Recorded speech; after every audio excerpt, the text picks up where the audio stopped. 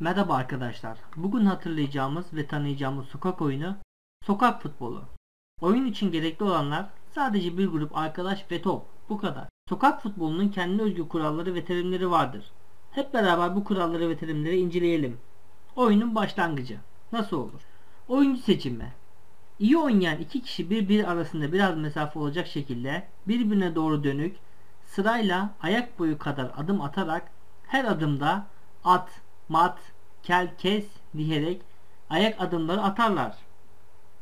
Birbirine doğru yavaş yavaş yanaşan oyunculardan kimin ayağı diğer oyuncunun ayağının üstüne basarsa oyuncu seçimine o başlar. Veya yassı bir taş bulunur, bir yüzü tükürükle ıslatılıp kuru mu yaş mı diye soru sorulur, havaya atılır. Taş yere düştüğünde kimin seçimi üst kısımda ise oyuncu seçimine o başlar.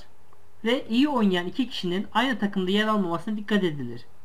Oyuncu seçimi yapılırken oyunculardan biri aniden kale son, son 1, son 2 şeklinde bağırışlar başlar. Bu çığlıkların amacı kaleye geçiş sırasını belirlemektir. Oynayacakların sayısı eğer tek ise güçsüzlerden biri güçsüz oyuncuların olduğu takıma verilirdi. Kale yapımı maçların hayali kale direkleri arası adım ile sayılır. Olmaları gereken yerler iki taş ile işaretlenirdi. Bir veya daha fazla taşların üst üste konulması ile kale oluşturulur ve aynı şekilde diğer takımın kalesi yapılırdı. Ve oyun başlasın. Kuralları Maçlar minyatür kalede oynanıyorsa penaltı boş kaleye ters şekilde topukla vurulurdu. 3 korner bir penaltıdır. Kaleci topu 3 kere sektirirse rakibe açılsana 3 kere sektirdim derdi. Rakip açılırdı. Top insanın pek münasip olmayan bir tarafına gelirse herkes işe işe diye bağırırdı.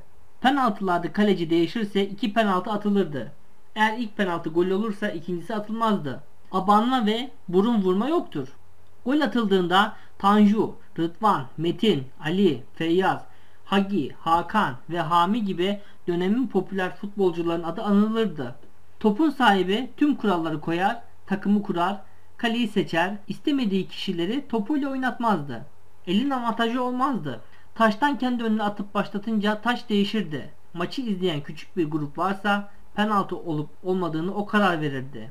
Pas vermeden sadece çalım atarak gol atılırsa sayılmazdı. Kaleden kaleye gol yoktur.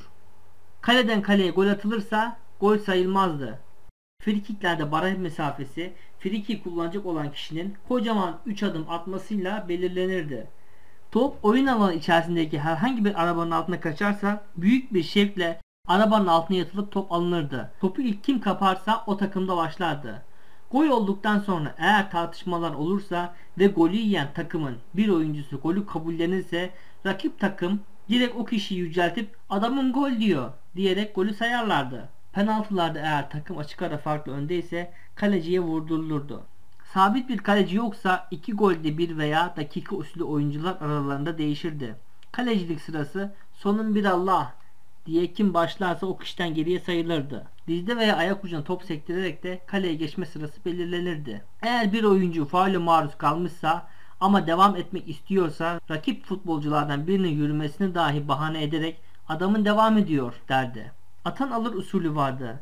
Eğer top kime çarpıp çıkmışsa topun gittiği yer neresi olursa olsun koşa koşa gidip alırdı. Skor ne olursa olsun akşam saati yaklaştığında golü atan kazanır kuralı işlerdi. Maçlardan sonra su sırasına girmek ayrı bir davaydı ve mutlaka koşa koşa gidilir.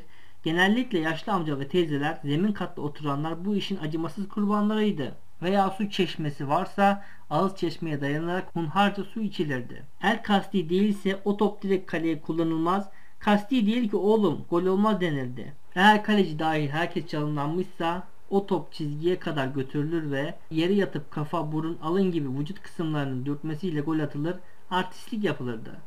Kaleler taştan olduğu için atılan şut önce defansa çarpıp sonra taşın üstünden geçtiyse şutu atan takım gol diye yargıra çıkarırdı. Ama rakip takımın gol değil kale üstü cevabına gol yoksa korner o zaman ver topu diyerek racon kesilirdi.